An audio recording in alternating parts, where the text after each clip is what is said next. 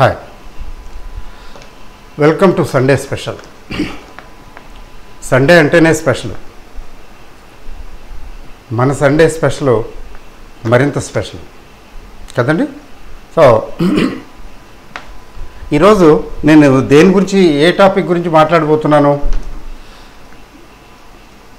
That you decide you determine ఈరోజు నేను మాట్లాడేదానికి క్లుప్తంగా తక్కువగానే మాట్లాడతాను. Try I try to do it. దీనికి ఏ టైటిల్ పెడితే బాగుంటుంది అన్నది మీరే డిసైడ్ చేయండి. చేసి కామెంట్ బాక్స్లో మీరు టైటిల్ పెట్టండి మీకు నచ్చిన టైటిల్. ఏంటంటే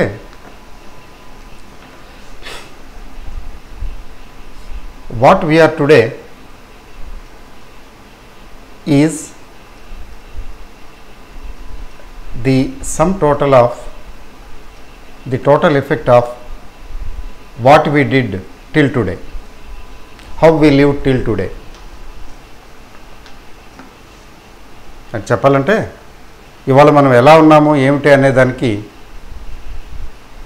ఇప్పటి వరకు మనం ఎలా ఉన్నాము ఏమి చేశాము ఎలా బ్రతికాము అన్నది డిసైడ్ చేస్తుంది. కదా? అయితే ఒక ఒక ప్రాసెస్లో ఒక ఆర్డర్లో వెళ్ళదు ఏది ఆర్డర్లో వెళ్ళకపోవటమే లైఫ్ తాలూకు విశేషం. ఆర్డర్లో వెళ్ళక వెళ్ళకపోవటం అంటే కొంచెం కట్టా కొంచెం మీఠా అంటారు కదా. ఆ కొంచెం చేదుగాను కొంచెం తీపిగాను కొంచెం ఒగరగాను. మన ఉగాది పండగకి ఉగాది పచ్చళ్ళలో ఉగాది పచ్చళ్ళు అన్నీ పె పెడతారు కదా. చేదు వగరు తీపి అన్నీను కలగలుపు. అది చాలా ఆలోచించి పెట్టారు. అంటే జీవితం అంటే ఇన్ని రసాలు ఇన్ని ఇన్ని రకాలైనటువంటి రుచుల సమ్మేళనం. ఒక్కోసారి లైఫ్ చాలా జాయ్ఫుల్గా ఆహా ఏమి నా భాగ్యము అన్నట్లు ఉంటుంది. గాలిలో తేలిపోతున్నట్లుంటుంది చాలా బాగుంటుంది. ఒక్కోసారి పైనుంచి ఎత్తి కుదేస్తే నేల మీద బయట పడి నాలుగు ముక్కలు అవుతుంది కదా ఏదైనా? పైనుంచి పడేస్తే ఎత్తి పడేస్తే ఏమవుతుంది? నాలుగు ముక్కలు అవుతుంది ఎవరో మనల్ని పైనుంచి ఎత్తి పడేసి నేల మీద పడేశారు అన్నట్లు అనిపిస్తుంది. అంత భయానకంగా ఉంటుంది. అంటే కాన్స్టెంట్గా కంటిన్యూస్గా సంతోషంగా ఉండం. అలాగే కాన్స్టెంట్గా దుఃఖంతో ఉండం. మధ్యలో కొంతకాలం బాగుంటుంది కొంతకాలం అంతగా బాగుండదు కొంతకాలం అస్సలు బాగోదు. అంటే రకరకాల సుఖదుఖాలు మేళవింపే కదా జీవితం అంటే. ఏది పెర్మనెంట్గా ఉండదు. దుఃఖం కలిగినా అది పెర్మనెంట్గా ఉండదు. ఇంట్లో మనకి చాలా ఇంపార్టెంట్ ఒక ఫ్యామిలీ మెంబరు లేరు. మరణం అనేది ప్రతి ఒక్కరికి తప్పదు కదా. అందరికీ అది తెలుసు కదా. కానీ అది రిసీవ్ చేసుకోలేము. మరల మరల మరల మరల గుర్తుకొస్తుంటారు వాళ్ళు. వాళ్ళు గుర్తుకొచ్చినప్పుడల్లా బాధగా ఉంటుంది. నా జీవితంలో కూడా అంతే. ప్రతి ఒక్కరి జీవితంలో కూడా అంతే. ఇంత ఎక్కువ వయసు. చిన్న వయసులో వాళ్ళకి ఇలాంటి అనుభవాలు ఉంటాయో లేదో నాకు తెలియదు కానీ ఏజ్ పెరిగే కొద్దీ ఉంటుంది. వాళ్ళు లేరు అన్న భావన కొంచెం ఇబ్బంది పెట్టేస్తుంది. అయ్యో లేరు ఇక లేరు. కానీ పర్మనెంట్గా ఉండదు కదా ఎప్పుడో ఒకసారి గుర్తుకొస్తారు. వచ్చినప్పుడు కొద్దిగా ఫీల్ అవుతాం మళ్ళీ నార్మల్ అయిపోతుంది. ఈ చక్రం చూసారా? It is moving move it is like a moving wheel తిరుగుతున్న చక్రం లాంటిది కదా తిరుగుతున్న చక్రంలో ఏమవుతుందంటే ఒకసారి ఆ చక్రంలో దిగువ భాగాన ఉంటాం లోలో ఉంటాం ఒకసారి ఎగ్జాల్టెడ్ పొజిషన్లో పైన ఉంటాం ఒకసారి పక్క ప- పక్కలుగా ఉంటాం. అంటే ఇదంతా నడుస్తున్నది కదా. దీని గురించి ఎందుకు తాపత్రయపడటం? కాబట్టి ఈ ప్రపంచంలో పుట్టిన ప్రతి వ్యక్తి ప్రతి వ్యక్తికి చేదు అనుభవాలు తీపి అనుభవ మధుర స్మృతులు మధురు మధురాతి మధురతమైనటువంటి మధురమైనటువంటి ఘటనలు సంఘటనలు క్షణాలు చేదు జ్ఞాపకాలు తీపి గుర్తులు ఇవన్నీ ఖచ్చితంగా ఉంటాయి. కొంతమందికి రేషియో డిగ్రీ పర్సంటేజ్ కొంచెం ఎక్కువ కూడా అవి ఎక్కువ ఉంటాయి కొంతమందికి ఇవి ఎక్కువ ఉంటాయి. ఉండటం తథ్యం. కాబట్టి దాని గురించి ఇప్పుడు బాధలు క- బాధ కలిగించే సన్నివేశాలు వచ్చినప్పుడు బా ఇబ్బందికరమైనటువంటి పరిస్థితుల్లో ఉన్నప్పుడు కుంగిపోతాం. కుంగిపోవడానికి ప్రయత్నిస్తాం. తప్పదు. విల్ బి సక్కమ్ అంటే will will succumb to it ఎందుకని? అంటే మనసు ఏం చేస్తుందంటే ఒక పట్టాన ఉండవదు. మీకు భరించరానటువంటి భరించరానటువంటి సన్నివేశం కానీ సిచ్యువేషన్ కానీ బ్యాడ్ న్యూస్ కానీ విన్నప్పుడు ఏమవుతుంది? వాట్ హ్యాపెన్స్ వి ఫీల్ భయంకరంగా ఫీల్ అవుతాం. ఆ ఫీల్ అవటం ఎట్లా ఉంటుందంటే మనం భరించలేం. కొన్ని కొన్ని సందర్భాలు లో ఫీలింగ్లో అంటారు కదా ఆ ఫీలింగ్లో అనే సిచ్యువేషన్ వస్తుంది. ఒక్కోసారి అయితే డిప్రెషన్ లాంటి సిచ్యువేషన్ వస్తుంది. తర్వాత ఇంకోటి ఏంటంటే మనం ఎవరితోనూ అసలు మీరు ఖచ్చితంగా చాలామంది ఇట్లాంటి సిచ్యువేషన్స్ చూసే ఉంటారు. We prefer to be lonely all alone బో నాకేంటి ఇంత విపత్తు వచ్చింది ఇంత బాధ వచ్చింది ఇంత కష్టమైనటువంటి పరిస్థితి వచ్చింది. నాకు నాకు వచ్చినంత విపత్తు నాకు వచ్చినంత ఈ బాధ ఈ ప్రపంచానికి ఏం వచ్చినట్లేదు లేదు నార్మల్గా ఉంది. నో ఐఎమ్ డిఫరెంట్ నేను I have been cursed separately నా పరిస్థితి చాలా ఇదిగా ఉంది. So let me do it అంటే లెట్ మీ డూ ఇట్ అంటే let me take it see let me take it all alone అసలు మనం ఎవరితో మాట్లాడని కూడా అనుకోం ఎవరైనా మాట్లాడితే ఫోన్ కట్ చేసేస్తాం. ఎవరితో మాట్లాడాలని అనుకోము. ఎవరితో షేర్ చేసుకోవాలనుకోము తర్వాత ఒక్క ఒంటరిగా ఉండి ఎంత వీలైతే అంత గట్టిగా ఏడ్చేయాలనిపిస్తుంది. అట్లాంటి సిచ్యువేషన్స్ కూడా వస్తాయి. ఒంటరిగా ఎవ్వరికి తో మాట్లాడకుండా ఎవరితోనూ ఏ సంపర్కం పెట్టుకోకుండా ఏ చేయాలి గట్టిగా ఏ చేయాలనిపిస్తుంది అంటే we want to live it away we want to live it in full గమనించారా? అట్లాంటి సిచ్యువేషన్స్ వచ్చాయో రాలేదో నాకు తెలియదు వస్తాయి. వచ్చి ఉంటాయి ఎందుకని అట్లా వస్తున్నదంటే అక్కడ mind is operating in a predominant way ఎంత ప్రిడామినెంట్గా మైండ్ ఆపరేట్ చేస్తున్నదంటే ఇంకా మొత్తం అంతా ఫుల్గా ఆక్యుపై చేసేసి మైండ్ని పూర్తిగా ఆక ఆకట్టుకుని ఏయ్ ఏంటిది? ఇంత ఇంత భయానకమైన స్థితి- పరిస్థితి. ఏంటి? ఏడవేంటి అయ్యో! అంటే ఆ ట్రాజిక్ సిచ్యువేషన్ కానీ ఆ ట్రాజిక్ ఈవెంట్ కానీ న్యూస్ కానీ దాన్ని ఫుల్గా తీసుకోవటానికి మైండ్ ఏం చేస్తుందంటే ఫుల్గా డామినేట్ చేసేస్తుంది. అండ్ ఎట్లా అంటే ఆ సిచ్యువేషన్లోనే ఉండి ఆ సిచ్యువేషన్లోనూ బాధపడుతూ ఆ బాధని ఎంజాయ్ చేయాలనేటువంటి మా ఇది ఏర్పడుతుంది. బాధని ఎంజాయ్ చేయటం అంటే తెలుసా? అర్థమైందండి? బాధని ఎంజాయ్ చేయాలి ఆ బాధలోనే ఉండాలి ఆ బాధే బాగుంది. దీని మామూలు లైఫ్ కంటే ఆ బాధే బాగుంది అనే సిచ్యువేషన్లోకి తీసుకెళ్ళిపోతుంది. అందుకని we want to be lonely or we want to be with our selves with a different mind frame అప్పుడు చూసారా? ఇప్పుడు కొంతమంది చూసారా బాగా ఎక్కువ డ్రింక్ చేసేస్తారు. ఎక్కువ డ్రింక్ చేసేయటమే కాదు డ్రింక్ చేస్తూనే ఉంటారు. ఏమాత్రం అవకాశం ఉన్నా అవకాశం వచ్చినా they don't want to keep normal. నార్మల్గా ఉండటానికి ఒప్పుకోరు. ఎందుకంటే వాళ్ళ మనసుని ఏదో తొలిచేస్తుంటుంది లోపల. నీకు ఇది కాదు నువ్వు ఇలా కాదు ఇలా కాదు. నువ్వు ఈ ప్రపంచంతో దీంతో వీళ్ళతోటి పని లేదు. పడేసే లోపల. పడేసేసి తనలో తాను ఆరా అందులో వచ్చేటటువంటి కిక్ అనండి ఇంకోటని ఇంకోటనండి దాన్ని ఎంజాయ్ చేస్తాడు.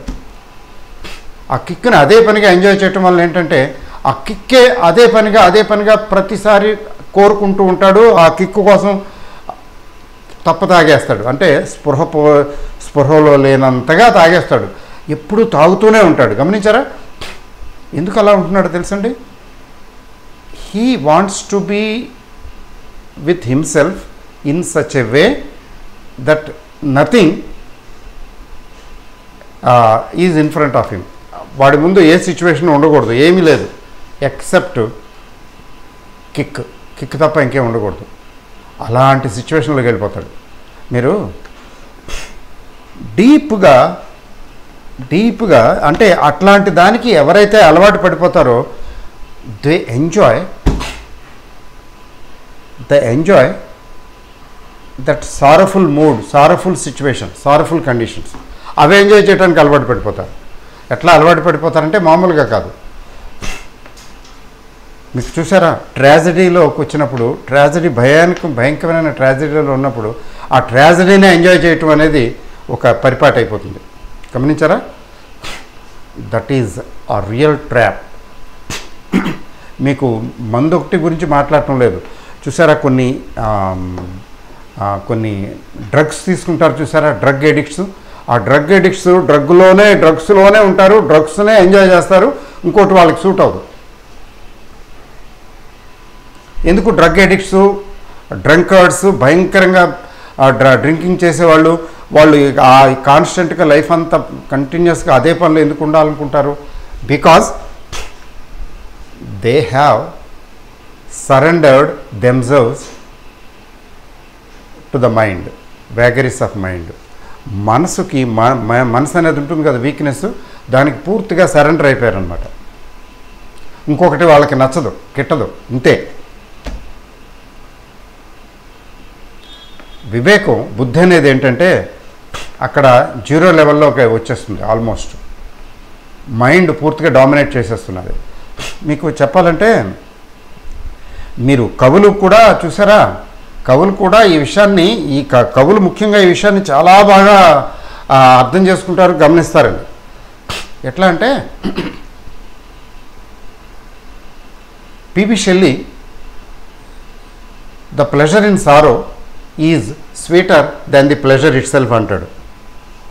అతనిది ట్రాజిక్ లైఫ్. ఒక భార్య వదిలేస్తుందో ఏదో అవుతుంది చనిపోతుంది ఏదో అవుతుంది. తర్వాత ఇంకొక ఎవరినో ఎవరినో ప్రేమిస్తాడో ఏదో మొత్తానికి లవ్ ఏదో ఉంటుంది. ఎట్లా అంత లవ్ లైఫ్ అతని లైఫ్ పర్సనల్ లైఫ్ ట్రాజిక్కే ట్రాజడీయే.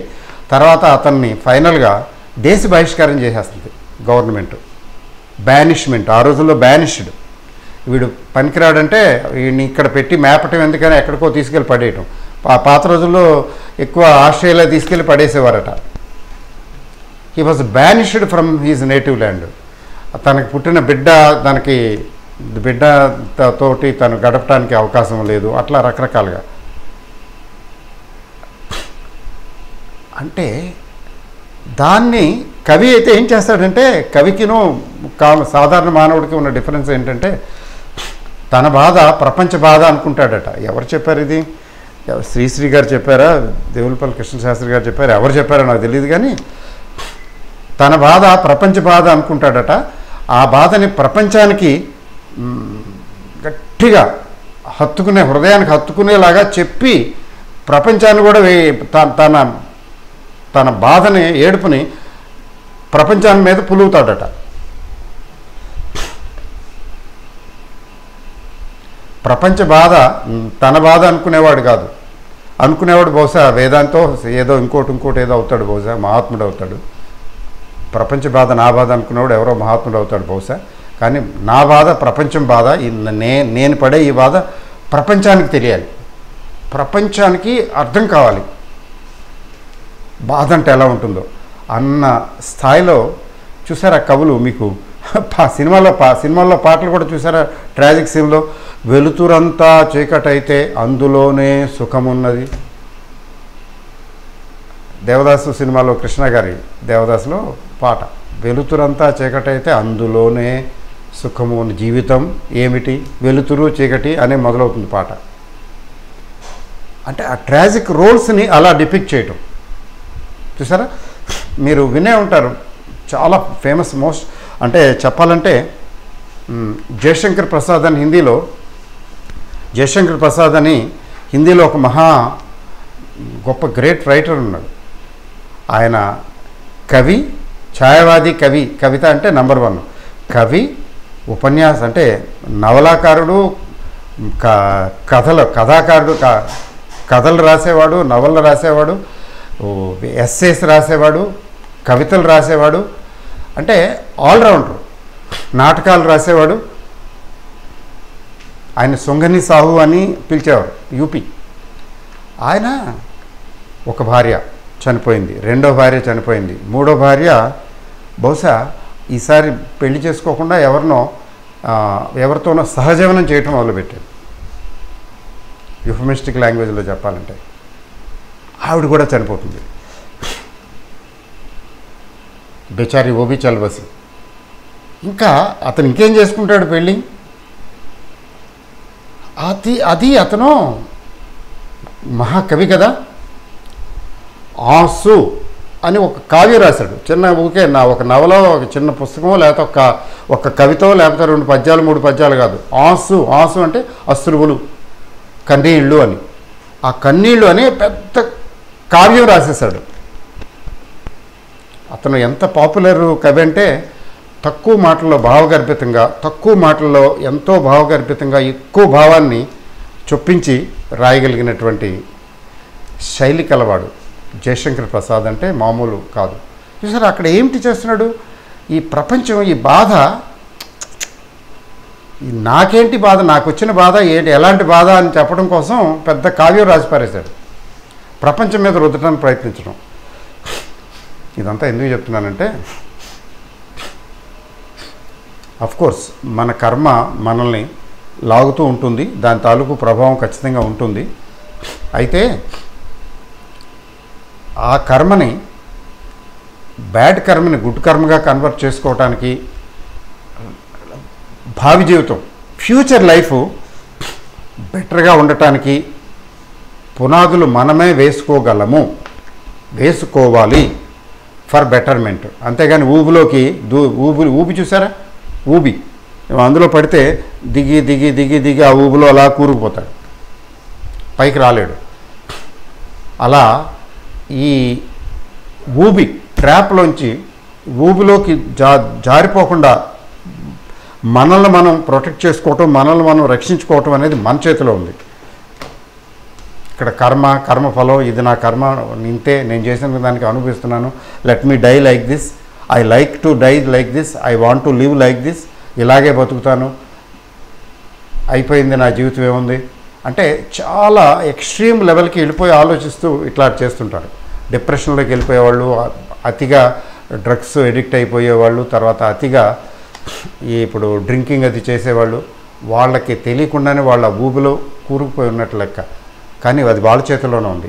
What is happening today is the result of what we did yesterday and yesteryears ఇప్పటి వరకు మనం చేసినటువంటి కర్మలు దాని తాలూకు ఫలితం నో డౌట్ అది వచ్చింది మన చేతిలోకి.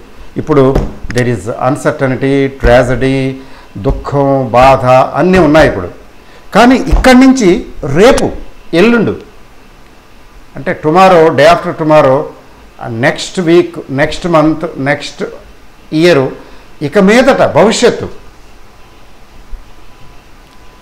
దానికి పునాది ఈ రోజు నుంచి పడచ్చు. వీ కెన్ డూ ఇట్ గతం గత. ఆ కర్మఫలం అనుభవించాం అనుభవిస్తున్నాం. బహుశా ఇంకా అనుభవిస్తామేమో. కానీ ఇట్లా కంటిన్యూస్గా అనుభవించాల్సిన అవసరం లేదు. We can take a U turn దానికి పునాది మనమే వేసుకోవాలి. అంటే we start doing good karmas first ఏంటంటే వివేకాన్ని పైకి తీయాలి. ఏంటిది? నేను పూర్తిగా ఇలా అయిపోయాను. ఇలా ఎందుకు ఆలోచిస్తున్నాను? There is something wrong let me అంటే రివోల్ట్ ఆ రివోల్ట్ అనేది లోపల నుంచి రావాలి. ఆ రివోల్ట్ ఎప్పుడైతే వస్తుందో అతను అతని ఆలోచన విధానం పని విధానం మెల్లమెల్లగా మెల్లమెల్లగా మార్పు వస్తుంది. I want to have a paradigm shift I want to change I want to do differently I don't I refuse to be like this for example లైఫ్లో డిసిప్లిన్ లోపించింది. డిసిప్లిన్ లోపిస్తే అతని పరిస్థితి ఏంటి? ఫినిష్ ఇంకేం లేదు. డిసిప్లిన్ లోపించిన తర్వాత ఆ మనిషి ప్రగతి సాధించలేడు. చాలా కష్టం. ఒకవేళ సాధించిన లిమిటెడ్ లిమిట్ అయిపోతుంది. డిసిప్లిన్ మనం ఏ పని అయితే చేస్తున్నామో ఆ పనికి సరిపడేంత డిసిప్లిన్ ఉందని ఉంచామనుకు పెట్టామనుకోండి that will be successful for example trading somebody is doing a trading stock మార్కెటే తొమ్మిది బావుకి మార్కెట్ ఓపెన్ అవుతుంది మూడున్నరకి క్లోజ్ అవుతుంది. సో అతను లెర్నర్ కావచ్చు లేకపోతే బిగినర్ కావచ్చు ఇంకొకటి కావచ్చు ఇంకొకటి కావచ్చు సీనియర్ కావచ్చు తొమ్మిది పావుకి టెర్మినల్ ముందు కూర్చోగలగాలి. మూడున్నర వరకు. మధ్యలో అది వేరే సంగతి. అంటే తొమ్మిది పావు కాకుండా ఎప్పుడో పది పదిన్నర పదకొండు పదకొండున్నరకి తను ఇష్టం వచ్చిన విధంగా ఓపెన్ చేస్తే అంటే డిసిప్లిన్ లోపించబట్టే కదా. సో మనం చేసే పని లో డిసిప్లిన్ లోపించినప్పుడు మాత్రమే మెల్లిమెల్లిగా జారుడు వల్ల జారుకున్నట్టు జారుకున్నట్టు స్లిప్ అంది పాత ఆఫ్ స్లిప్పర్ మెల్లిమెల్లిగా మెల్లిమెల్లిగా వెళ్ళిపోతాం. Pitfalls so what we are today no doubt we are responsible for what we can be tomorrow is also in our hands in our hands అక్కడే బుద్ధి అనేది వివేకం అనేది పనిచేయాలి. ఎప్పుడైతే బుద్ధి వివేకం అనేది పనిచేయటం మొదలవుతుందో అక్కడి నుంచి మార్పు వస్తుంది. But you should decide it. అదే కదా? అంతేగాని ఇది ఇంతే నా జీవితం ఇంతే నా బతికింతే నాకు ఇంతకన్నా రాదేమో? లేకపోతే నేను ఎప్పుడు లాస్ లేనేమో? నేను ట్రేడింగ్ చేసి డబ్బులు సంపాదించలేనేమో? లేకపోతే నేను ఏ షేర్ కొంటే ఆ షేర్ పడిపోతున్నదేమో? లేకపోతే ఎక్కడికి వెళ్తే అక్కడ జాబ్ నాకు ఇంటర్వ్యూ సెల ఇంటర్వ్యూలో సెలక్షన్ రావటం లేదు. ఏంటి ఇది నాకు నా నా దురదృష్టం ఏంటి? నేను ఎక్కడ ఏ జాబ్కి వెళ్ళినా ద- దరిద్రుడు ఇలాంటి బాసులు దొరుకుతారు. విసిగిచ్చే బా బాసులు రాచి రంపాన్ని పెట్టేస్తుంటారు బాసులు. ఇలాంటి బాసులు దొరుకుతారేంటి? లేకపోతే ఏంటి నా కర్మ? ఇలాంటి లైఫ్ ఇలాంటి మ్యారేజ్ ఇలాంటి వైఫ్ దొరికింది ఏంటి లేకపోతే ఇలాంటి హస్బెండ్ దొరికాడేంటి? ఇవన్నీ కూడా నాన్ సెన్సికల్ డైరెక్ట్గాను ఇండైరెక్ట్గాను మనం అట్రాక్ట్ చేసుకునివే సో నెక్స్ట్ స్టెప్ ఏంటి? It is in our hands. ఇక్కడ అంత కర్మ ప్రారంధం అనుకోవటం తెలివి తక్కువతనం. కర్మ ప్రారంధం అనేది ఈ పాయింట్ వరకు కరెక్టే. కానీ నెక్స్ట్ పాయింట్ రేపు ఎల్లుండు ఫ్యూచర్ అనేది అక్కడ అంతా మన చేతిలో ఉంది. మన కర్మను బట్టి. When we start doing good karmas when we start doing things with discipline అప్పటి వరకు ఉన్న ఫెయిల్యూర్స్ సక్సెస్ ఫెయిల్యూర్ అలా సక్సెస్ కింద కన్వర్ట్ అవ్వటం మొదలు పెడుతుంది I have series of failures నేను ఏ బిజినెస్ ఏ బిజినెస్ చేసినా లాస్ వస్తున్నది. నేను ఎక్కడికి వెళ్ళినా ఇంటర్వ్యూలో ఫెయిల్ అవుతున్నాను. ఇంటర్వ్యూ రావటం లేదు. ఒకసారి రిటర్న్ టెస్ట్ క్లియర్ అవ్వటం లేదు. లేకపోతే ఇది నేను ఏది చేసినా ఏది పట్టుకుంటే అది పాడైపోతున్నది. నేను ఎవరితోటి ఏ డీల్ చేసినా వాడు నన్ను మోసం చేస్తున్నాడు.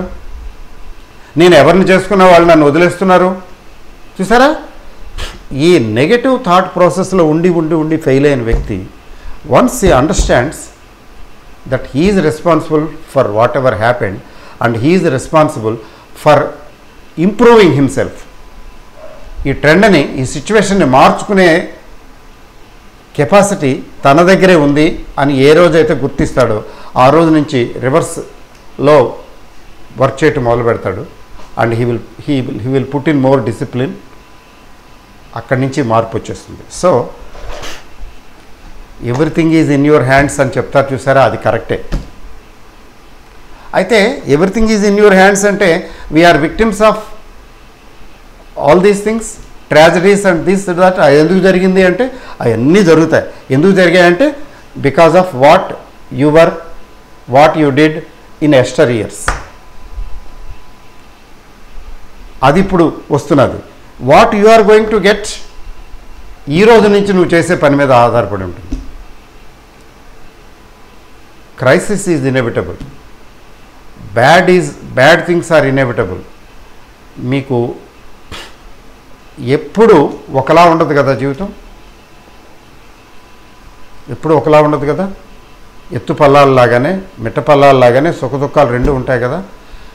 ఇంపార్టెంట్ థింగ్ ఏంటంటే అది గుర్తించడం. సుఖ దుఃఖాలు సహజం.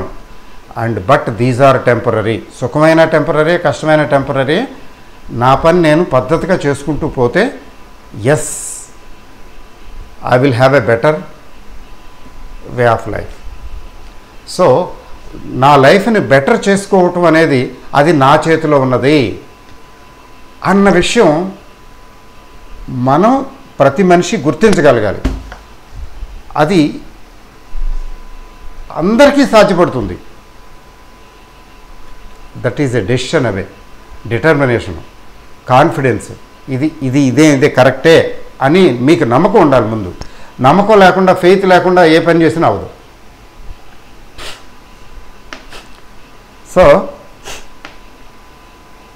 ఎక్కడో నేను చేసిన యోగాలు ఇంతకుముందు కూడా చెప్పుంటాను. వాళ్ళు చార్టులు రాయించేవాళ్ళు ఆ కోర్సులో.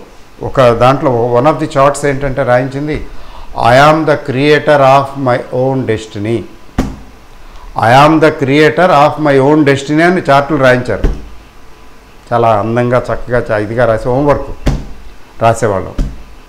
కానీ అది ఎక్కడో ఉండిపోయింది సబ్ కాన్షియస్ లెవెల్లో నాకు ఖచ్చితంగా after seeing life to this length yes I'm the creator of my destiny అది ఆ డెస్టినీని తిరగరాయటం లేదా క్రియేట్ చేయగలిగిన కలిగినటువంటి కెపాసిటీ నాలో ఉండాలంతే. మెజారిటీకి ఉండదు. నైంటీ పర్సెంట్ నైంటీ ఫైవ్ పర్సెంట్కి ఉండదు. అట్లాంటి ప్రయత్నం చెయ్యం. అంతే తప్ప అస్సలు హండ్రెడ్ పర్సెంట్ విధి విధివ్రాత అట్లాగే జరుగుతుంది. ఇంకా దానికి తిరుగులేదు. అంటే తిరుగులేదు అంటే మేబీ సర్టన్ ఈవెంట్స్ మనం ఆపలేం జరిగిపోతాయి. పోనివ్వండి. కానీ చాలా వరకు వీలు పడుతుంది. We can decide we can create we can do a lot మీకు చిన్న ఎగ్జాంపుల్ షేక్స్పియర్ పోయంలో అనుకుంటా. Sweet are the uses of adversity ఇంతకుముందు కూడా నేను చెప్పినట్టున్నాను ఒక రాజు ఓడిపోయి అడవిలోకి వెళ్ళి పారిపోతాడు. పారిపోయి అడవిలో దాక్కుంటాడు. మదన పడుతుంటాడు. నా రాజ్యం పోయింది రాజ్యం పోయింది. ఏంటి ఏంటి నా బతుకు ఇలా అయిపోయింది అడవి పాలు అయిపోయానని. చూస్తుంటాడు. చూస్తూ చూస్తుంటే అలాగ చీమలు ఉంటాయి. చీమలు పైకెక్కుతుంటాయి. పైకి ఎక్కబోయి ఎక్కబోయి పైకి ఎక్కుతాయి ఏవో కొంచెం ఏవో తీసుకుంటాయి ఆహార పదార్థాలు తీసుకుని ఎక్కుతా ఉంటాయి ఎక్కలేక పడిపోతుంటాయి. మళ్ళీ ఎక్కుతుంటాయి పడిపోతుంటాయి ఎక్కుతుంటాయి పడిపోతుంటాయి. ఒక చీమని అలా అబ్జర్వ్ చేస్తుంటాడు. ఎన్నిసార్లు అయినా ఎక్కుతుంది పడిపోతుంది ఎక్కుతుంది పడిపోతుంది. ఏంటిది? అయినా వదిలిపెట్టలేదు అయినా ఎక్కుతుంది అయినా ఎక్కుతుంది. అలా ఎక్కుతూ పడిపోతూ ఎక్కుతూ పడిపోతూ ఎక్కుతూ పడిపోతూ ఫైనల్గా ఎక్కేస్తుంది. అతనికి వెంటనే జ్ఞానోదయం అయిపోద్ది. ఫెయిల్యూర్ని ఫెయిల్యూర్గా తీసుకుని కుంగిపోకూడదు try and try again. Try and try again. Until you succeed no matter what Ghazni Ghori దండయాత్రలో best example. ఎన్నిసార్లు ఓడిపోయినా వెనక్కి తిరగలేదు కదా చూడలేదు కదా వాళ్ళు? ఏ- అయినా కానీ గెలిచేయాల్సిందే సాధించాల్సిందే వదిలిపెట్టేది లేదు. మొండివాడు రాజుకంటే బలవంతుడు అనేది అందుకైనా కదా అది ప్రయత్నంలో ఉన్నటువంటి పట్టు ఎలాంటిదంటే one fine day you will get it one fine day you will get it వదిలిపెట్ట ఇప్పుడు మీకు క్లోజ్ చేసే ముందు లాస్ట్ చాలా ఇంపార్టెంట్ ఈ పాయింట్. మీకు గుర్తు చేస్తున్నాను. థామస్ ఆల్వా ఎడిసన్ వదిలిపెట్టలేదు కదండి. అన్ని వందల వేల ఎక్స్పెరిమెంట్లు చేస్తూనే ఉన్నాడు కానీ ఇప్పుడే వదిలిపెట్టాడా? అబ్బాయి ఏదో ఉంది మొత్తానికి వెలిగిస్తుంది బల్బుని. అని ప్రతి ఎలిమెంట్ని కనిపించిన ఎలిమెంట్ అన్నీ తీసుకుని చే- ట్రై చేసి చేసి చేసి చేసి ఏం చేశాడు? మొత్తానికి ఏదో ఒక ఎలిమెంట్ క్లిక్ అయింది పలికేసింది. T plus one formula apply చేశాడు అంతగానే ఏం లేదు. టీ ప్లస్ వన్ అంటే మీకు అందరికీ తెలుసు ఇంతకుముందు ఎప్పుడో రెండు మూడు సార్లు చెప్పుంటాను నేను. Try one more time.